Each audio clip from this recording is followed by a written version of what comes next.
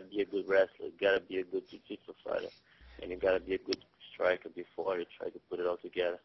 And with the the emergence of MMA, how MMA has changed over the last couple of years, uh, have you changed how you teach the jiu-jitsu, or you still stay at, at a at a pretty, if you want, like uh, by the book jiu-jitsu?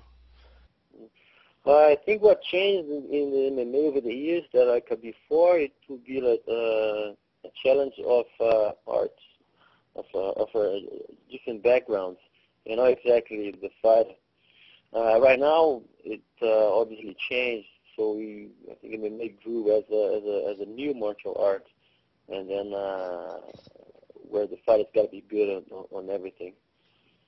So I did not change like much the way uh, jiu-jitsu is, is, uh, is taught. Like I do the same.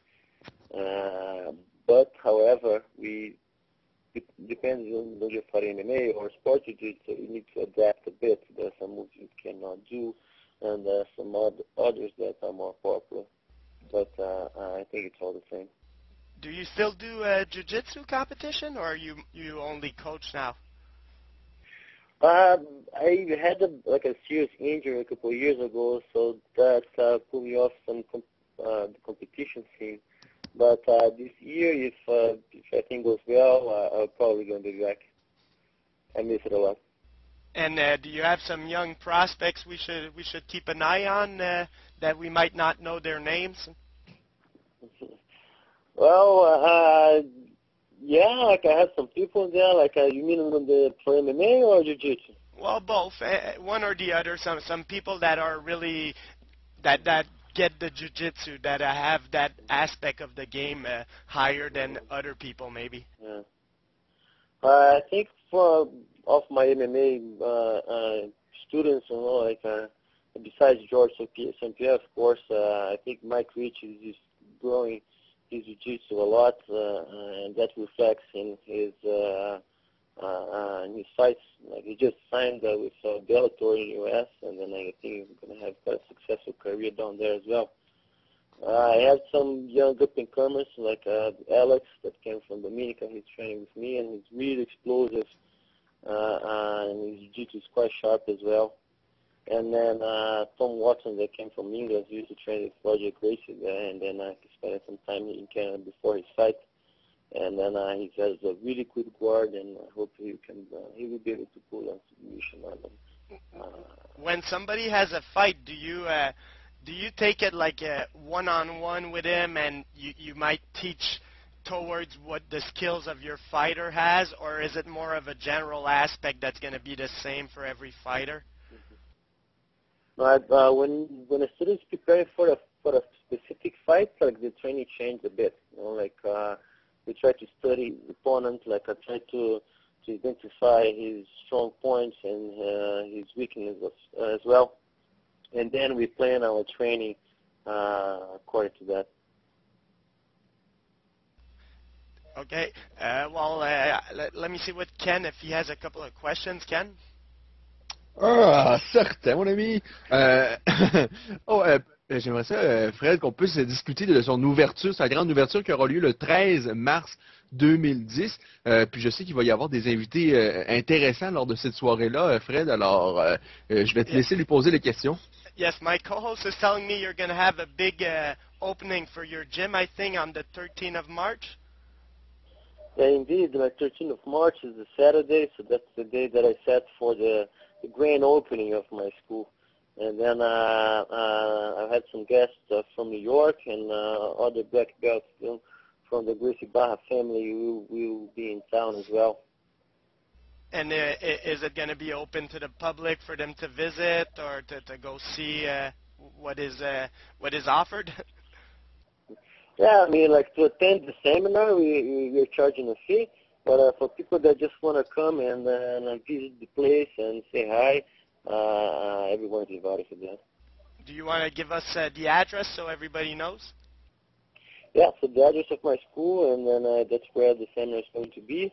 It's a 180 uh, Peel, uh, Suite 110. Euh, avant de terminer, Fred, j'aimerais ça qu'on lui parle de quelques combattants. Euh, peut-être un petit retour, ça, il sera peut-être pas à chanter, sur Rose Gracie, euh, dont sa dernière performance, ben, sa première également performance au UFC, qui a été, en tout cas, d'après moi, embarrassante. J'aimerais ça qu'on puisse parler de Roger Gracie, puis également du prochain combat de Renzo Gracie, qui est un de ses amis face à Matthews.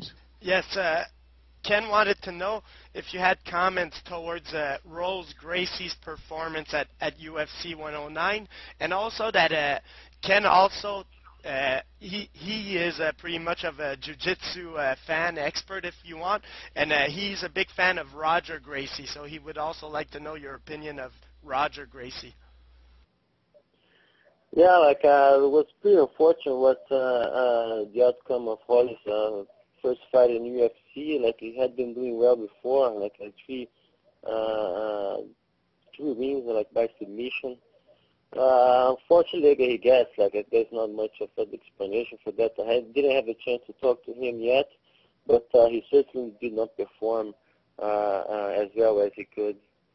So regarding uh, Roger Gracie, like I think every jiu-jitsu fighter nowadays should be a fan of him. You know, like he's showing the basic uh, old school jiu-jitsu and has been able to, to dominate uh, pretty much every competition that uh, uh, he went to.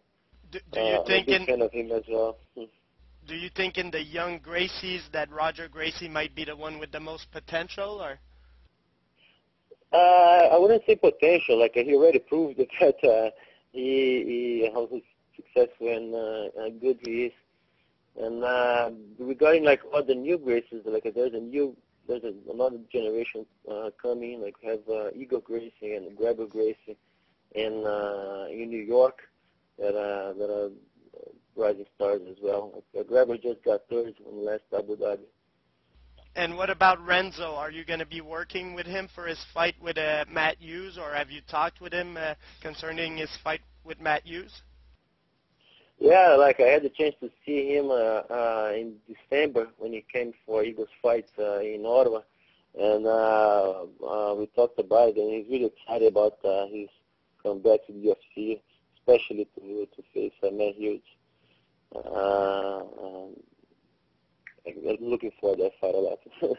Do, do you think that the uh, the the fact that he's a little bit inactive in the la- last couple of years in MMA is going to hurt him, or No, I don't. I don't think he has that kind of thing. You know, he's too experienced for that.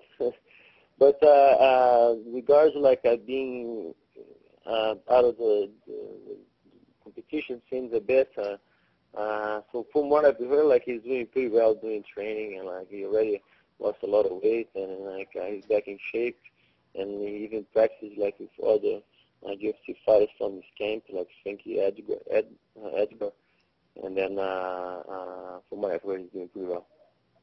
and uh, have you had the chance to to work with the the Diaz brother?